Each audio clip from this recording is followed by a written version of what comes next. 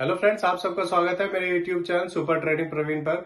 रोज़ाना की तरह आज फिर मैं आप सबके सामने एक बेहतरीन और बढ़िया शेयर ढूंढ के लाया हूँ। तो चलिए उस शेयर के बारे में आपको बताऊँगा। उससे पहले आप मेरे चैनल को सब्सक्राइब और मेरे वीडियोस को लाइक कर दीजिए, जिससे रोज़ाना की तरह आपको ऐसी बढ़िया और बेहतरीन शेयर मिल सके। तो चलिए मैं आपको आगे बताता हूँ शेयर के बारे में, जो आज शेयर मैं आप सबके सामने लेके आया हूँ। वो एक बैंकिंग कंपनी का शेयर है। और इसके बारे में इस, मैंने पहले भी वीडियो बनाया था। इसमें एक नई खबर आई है इसलिए आपको बताता हूँ। इस कंपनी का नाम है आईडीएफसी फ़र्स्ट बैंक लिमिटेड आप सब जानते ही हैं कि इसमें अभी अभी एक बड़ी खबर आई है। जीक्यूजी ग्रुप ने 5.01 करोड़ शेयर खरीदे हैं इस कंपनी के। और ये डील इसके अंदर आज ही हुई है। इसमें आज ये बड़ी ब्लॉक डील हुई है। ये डील चार करोड़ के शेयर खरीदे गए हैं जीक्यूजी ग्रुप की तरफ़ से। और जीक्यूजी ग्रुप ने एक के भाव पर ये ब्लॉक डील करी है। जीक्यूजी ग्रुप ने 0.58 परसेंट से अपनी हिस्सेदारी बढ़ाकर इस कंपनी में 1.04 परसेंट कर दी है। आप देख ही रहे हैं कि जीक्यूजी ग्रुप ने इस कंपनी के अंदर अपनी हिस्सेदारी बढ़ा दी है। ये एक एफआईआई ग्रुप है और ये बेसिकली ऑस्ट्रेलिया की कंपनी है। इसके अंदर हिस्सेदारी बढ़ा रही है तो कुछ तो बड़ा होने वाला है इसके अंदर। आपको इसके बारे में और आगे बताऊँगा। जीक्यूजी ग्रुप ने आईडीएफसी फ़र्स्ट बैंक के लिमिटेड के शेयर एक सितंबर को भी नवासी के भाव पर शेयर खरीदे थे। अब दूसरी बात जेक्यूजी ग्रुप ने इस कंपनी के शेयर खरीदे हैं। जेक्यूजी ग्रुप ने आईडीएफसी फ़र्स्ट बैंक के MD and CEO V Vidyanathan से शेयर खरीदे हैं।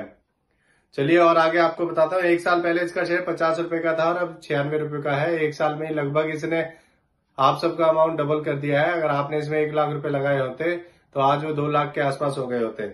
चलिए और आगे बताता हूँ। ये एक प्राइवेट बैंक है। इस कंपनी ने पिछले पाँच साल में तेईस परसेंट सीएजीआर प्रॉफिट ग्रोथ दी है। चलिए आपको इसके फंडामेंटल्स के बारे में बताया था। इसका मार्केट कैप तिरसठ हज़ार चार सौ चौरानवे करोड़ पी रेशो तेईस पॉइंट छब्बीस आर ओ एक पॉइंट इक्यासी परसेंट है।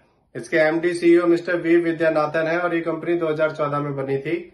एफआईआई लगातार इस कंपनी में अपना हिस्सा बढ़ाते जा रहे हैं। पिछले साल जून 2022 में एफआईआई का स्टेक इसमें दस पॉइंट निन्यानवे परसेंट था।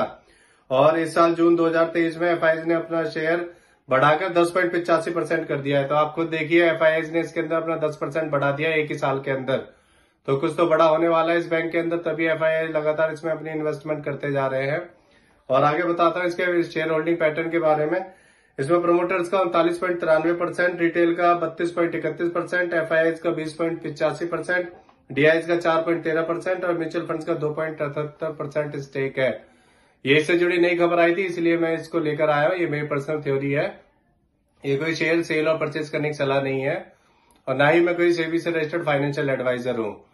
तो आप मेरे वीडियो चैनल को सब्सक्राइब कर दीजिए और मेरे वीडियोस को लाइक करते रहिए, जिससे कि रोज़ाना आपको ऐसे नए नए शेयरों के बारे में पता चल सके।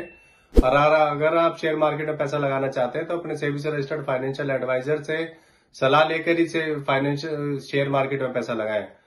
चलिए, मैं कल फिर आऊँगा। आप सबके सामने एक नया शेयर लेकर। धन्यवाद।